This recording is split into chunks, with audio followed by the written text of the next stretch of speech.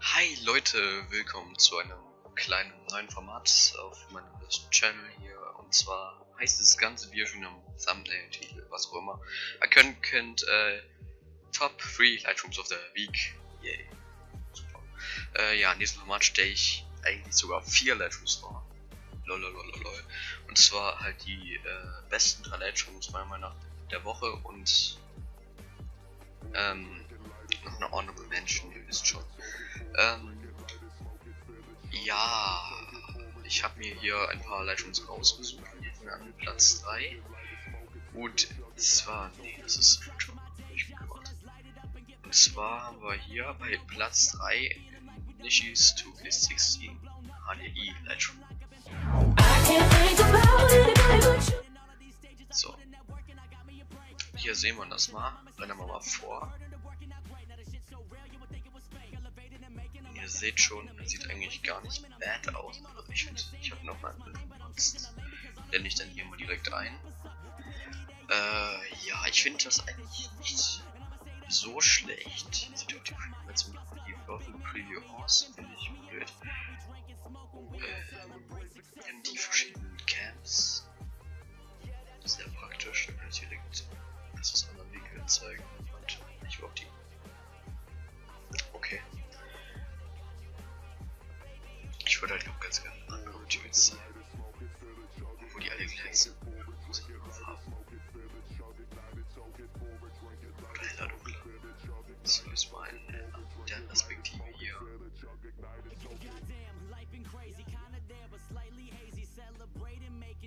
So, dann aus der Perspektive. So über zwei PC hört er ist ein bisschen laut. Bisschen. Ja, ähm, ich finde den Lightroom eigentlich an sich ganz cool. Äh, ich muss vorab sagen, dass äh, jeder einen anderen Geschmack hat und ich mache das halt auch noch mein Süß, deswegen kann ich die auch jetzt nur Menschen Intus nehmen. Ähm, also ich, also ich finde, sie müssen halt gute Menschen sein, weil ich, wie gesagt, ich kann Emotions kann daher auch nur danach bewerten. Ich kann einen schlechten Epic Lightroom bewerten, also für Epic Intros, wenn ich das nicht mal kann. Ähm, ja, und ja, ich würde sagen, gehen wir zum nächsten Lightroom. Also Platz 2.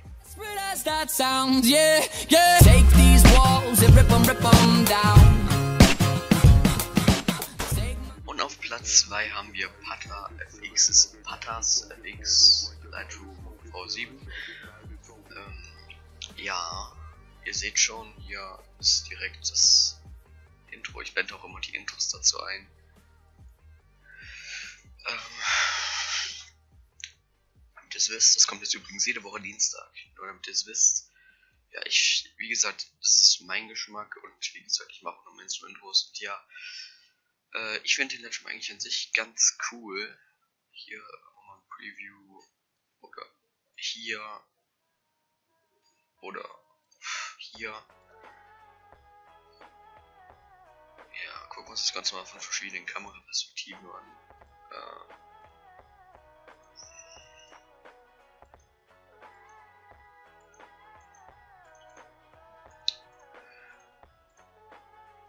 so ist noch hoch. So.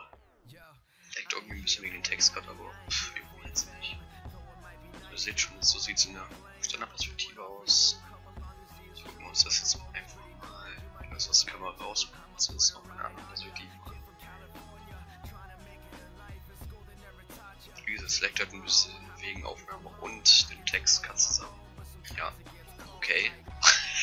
das ist jetzt ein bisschen overbright, aber ich finde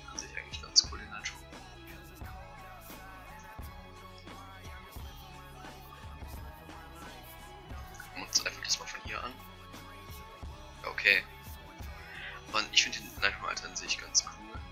Äh, gehen wir mal wieder in die Cam. Zeige ich euch noch die anderen Materials. Wir haben jetzt hier. Ich es ein bisschen größer. Äh, hier haben wir jetzt was Orange 3 und Iron 7. Wir gucken uns mal hier an. 1.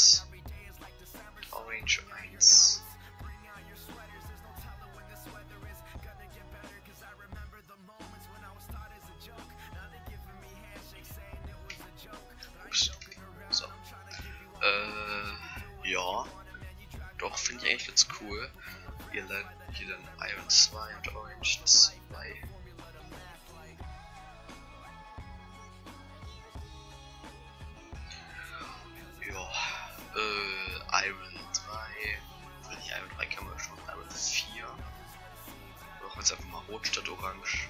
Sagen wir es ausgelöst statt orange. Ups, Rennern wollte ich nicht, ich wollte nur vorrennen. Also, Epic hat sich vorhin den. Oh, okay. Das ist broken. Äh. Was sind die Fünfer? Ach du Scheiße, nimm einfach mir Blau 5 und das Iron. Das Iron. Das Iron. Und Iron 5.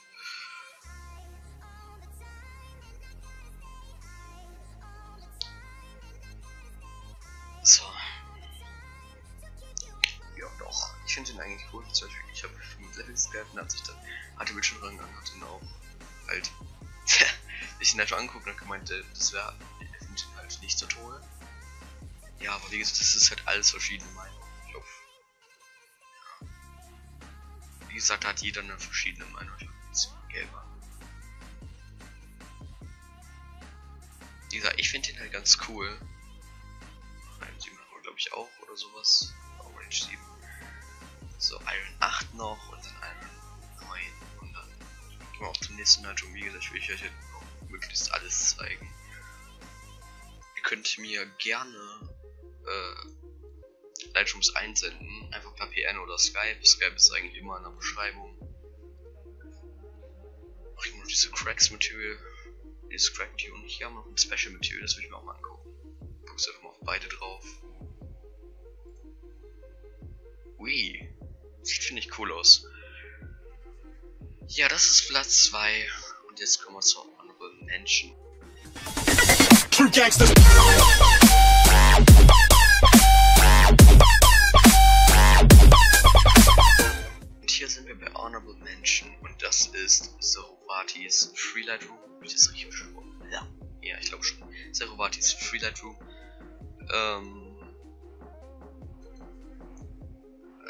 Ja.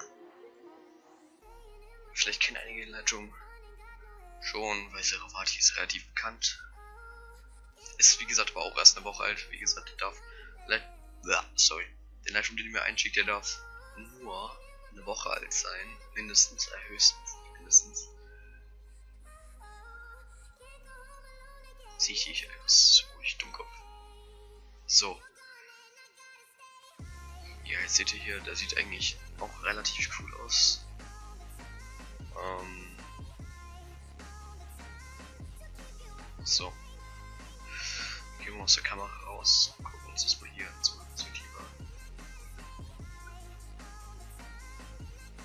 Doch, ich finde den Lightroom eigentlich auch ziemlich cool. Das, der hat halt nur diese Limit-Edition, das sind halt alles die gleichen. Also, ist alles das gleiche. Gleiche Textur, bloß andere Farbe. Aber ich finde ihn trotzdem, ich finde, äh, es ist wirklich wert, ihn hier zu nennen. Und ja, kommen wir zur 1.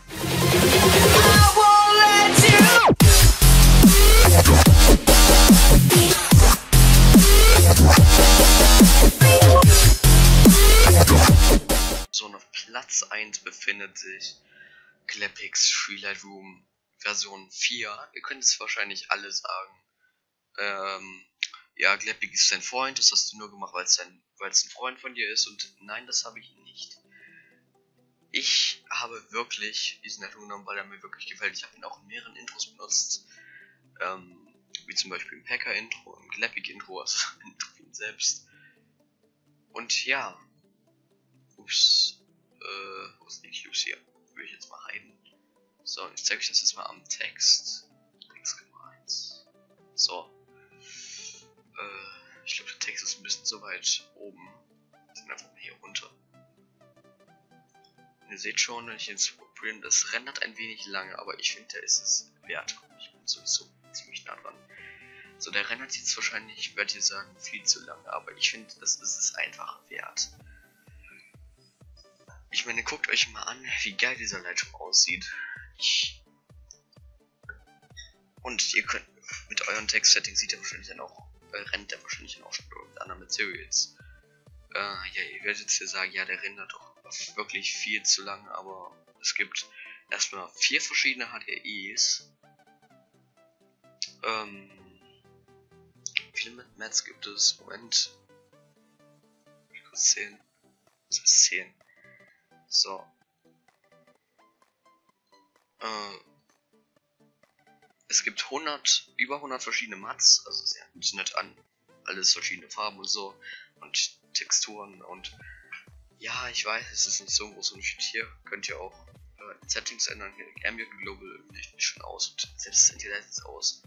Also, ihr seht schon, Lab hat sich echt Mühe gegeben, wenn er das trotzdem so lange gerendert. Warum auch immer das tut hier, seht ihr die verschiedenen HDIs. Können alle umstellen. Drei, Treiber an. Jetzt, ups. Jetzt gucken wir uns mal vier an. Rennt auch wirklich ein bisschen lange. Aber wie gesagt, es ist halt doch ein ziemlich geiler Lightroom.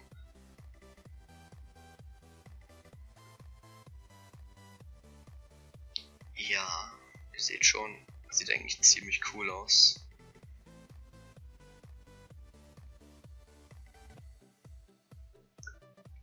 Ja, ich glaube, ich speed das jetzt einfach mal ein bisschen ab hier. So, hier haben wir es. Und dann gucken wir uns mal HDI 2 an. So, und hier haben wir auch HDI 2. Seht schon, der, der rendert eigentlich ziemlich lange, aber ich finde es wert und es könnten auch einfach nie matt sein, denn ich glaube, alle Mets rennen irgendwie unterschiedlich lang wegen der Textur oder so. Das haben wir HD 1 übrigens, ja, wenn das Feld hier ähm, leer ist, dann ist der, also wie es hier schon steht, HD an. Wenn da das, dieser Haken drin ist, dann ist er aus. HD aus. Ich finde, die rennt irgendwie schneller, kann das sein? Oder komme ich das mir nur so vor? Naja, auf jeden Fall, ich finde die HDI 3 irgendwie auch am besten. Nutze ich irgendwie immer. Ich sag Leute, das war's jetzt auch eigentlich mit dem Video hier. Ähm, ja, das war halt die erste Folge, wie gesagt. Ähm, jetzt nochmal zur Aufklärung, falls ihr es nicht ganz zugehört habt über das Video. Ähm, jeden Dienstag kommt jetzt davon eine Folge, wo ich drei Lightrooms der Woche, wo ich die halt die drei besten kostenlosen Lightrooms vorstelle. Es sind halt alles Free Lightrooms.